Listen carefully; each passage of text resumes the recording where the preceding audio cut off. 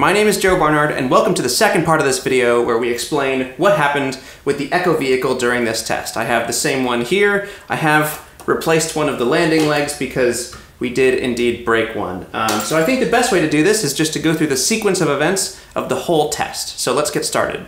I have all my flight data set up in a MATLAB plot here, and I'll show different parts of it as we go through each part of the test. Before the test, I let the rocket warm up on the ground, and I'm not even kidding, I let it warm up. Now, it was obviously a summer day, it was warm outside, but the PCB has a voltage regulator on the back that gets a little bit hot sometimes. So I let it warm up on the ground so that the IMU can auto-calibrate before it's time to actually test, and this makes things a lot more accurate in flight. Then I went around the test site turning on all the cameras, I put the rocket into its flight mode, and then I had the drone lifted off the ground. You'll notice that the rocket actually hovers in the air and stops ascending for a little bit. That's because there was a bit of an oscillation as the drone was lifting the rocket up, and I wanted to let it dampen out for a second. Once the rocket passed 30 meters above ground level, it fired Pyro Channel 1, which is connected to this little nichrome wire right here. Now the nichrome wire heats up and cuts a rubber band connecting the two vehicles together. So once the rubber band is cut, the vehicle is able to just drop from the drone. And once the rocket starts dropping, everything happens really fast. So let's go through all of the events here. As soon as the rocket separates, you'll see the acceleration measurements all go to zero, and that's because the rocket's in free fall at this point. As it descends, the fins on the top of the vehicle keep the rocket passively stable, if it were to tilt this way, these fins would push it back, giving it a restoring force. Same for this axis too.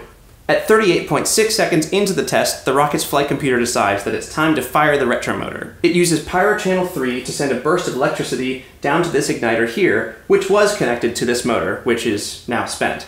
At 38.7 seconds, the guidance system becomes active and thrust vector control begins. And then at 38.8 seconds, the retromotor finally comes up to thrust and we begin to slow the rocket's fall.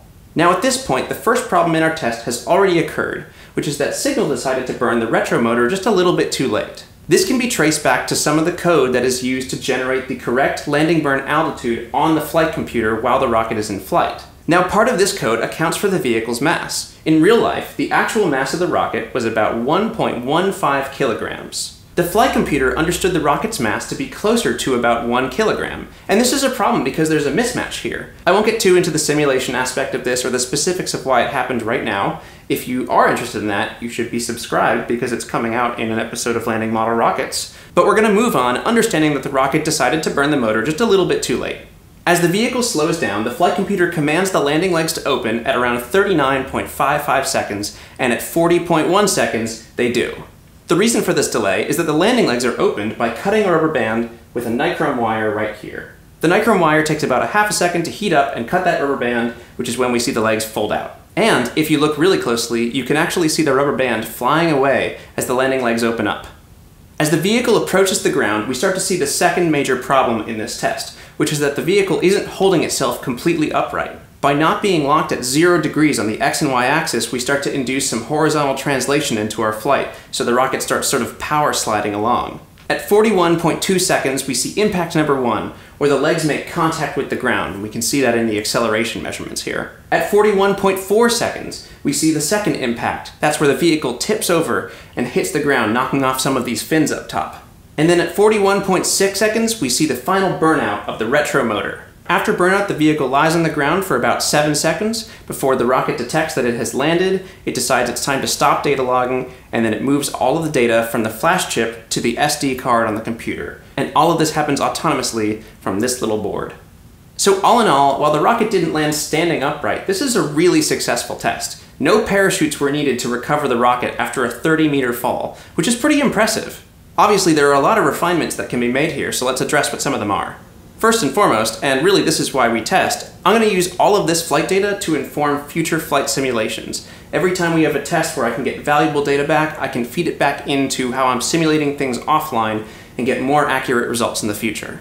This is the same phenomenon that you saw with SpaceX when they were trying to land their Falcon 9 booster. It took them a bunch of tries to get it right once, and then as soon as it happened once, it started to happen a lot more often because they could use that existing data to inform future flights. Before the next test, I'd like to incorporate some horizontal motion tracking in the flight computer. So this is tracking things downrange, or really just the power slide that we saw in this flight. That power slide isn't going to work so well if we want to be able to land upright, so canceling that out is going to be an important part of actually making this happen.